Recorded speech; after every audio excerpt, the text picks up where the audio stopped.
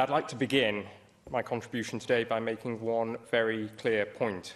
In 2013, the airport, had it continued under the existing commercial management, would have closed.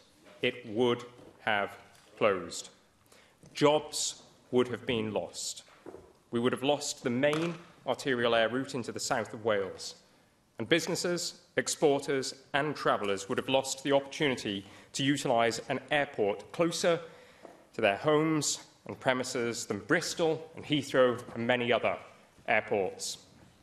Since the Welsh Government stepped in to save the airport, we have invested in it and delivered improvements to the terminal building and runway facilities.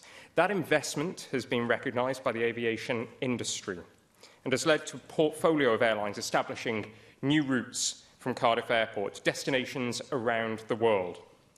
Cardiff Airport now directly supports more than 2,000 jobs and in 2018 delivered almost a quarter of a billion pounds of GVA to our economy. But the catalytic effect of the airport is even more significant with economic analysis suggesting that Cardiff Airport is worth up to 2.4 billion pounds to the UK economy.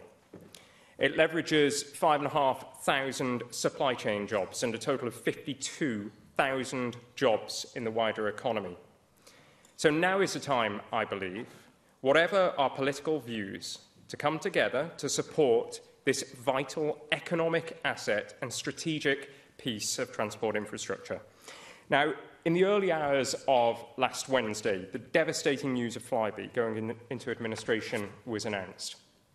Now, it's true that Flybe will impact Cardiff Airport in terms of passenger numbers. Though I want to congratulate the airport team for moving rapidly to secure the Cardiff to Edinburgh route with Logan Air. And I'm pleased to say, Deptford Airways, that discussions with other airlines are ongoing, and last week I had discussions with the Secretary of State for Wales and the UK Aviation Minister. I've spoken on a number of occasions to the airport chief executive and chair to discuss how we can support discussions on route take-up most recently yesterday afternoon.